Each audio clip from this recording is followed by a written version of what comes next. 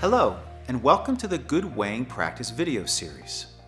This video emphasizes the importance of selecting a weighing device that is accurate enough for your intended weighing purpose. Doing this will ensure reliable testing results and good product quality. Every tool has an intended purpose.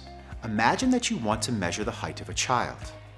A simple tape measure would do, but you would never use a tape measure to calculate the length of a small engineered component. Likewise, you would not use a laser beam to measure the height of a child, unless you want to know what their height difference is with socks on. It is the same with weighing. The correct selection of a weighing device should not be made by referring to a data sheet alone. It should be linked to your weighing requirements, which, at minimum, should contain these four items the maximum gross weight, the smallest net sample weight, your weighing process tolerance, which is defined in a percentage and is the allowable amount of error that your process can withstand. And of course, the safety factor. Mettler Toledo can help you choose the correct weighing device by using the principles of the Good Weighing Practice program. Let's make an example using this safe weighing range graph. The capacity of this device is 4 kilograms. The smallest net sample to be weighed is 30 grams. Please note that wherever measurements take place, there can be an error. We can express this error in a relative measurement uncertainty curve.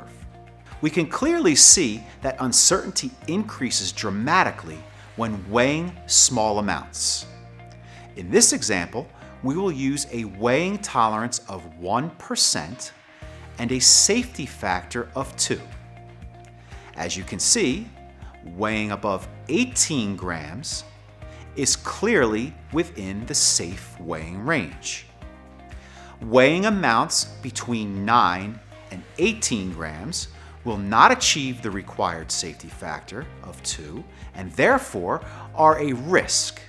Weighing under 9 grams means that these measurements could be outside the weighing requirement of 1% and could affect quality. Based on proven scientific principles, Mettler Toledo can advise you on the right choice of a weighing device by issuing a complimentary GWP recommendation report. We can also advise you if your installed balances and scales are fit for purpose using a unique service called GWP verification. As a result, you can be sure that your weighing devices satisfy the quality requirements of your products and analyses. To learn more, check out other videos in our Good Weighing Practice video series.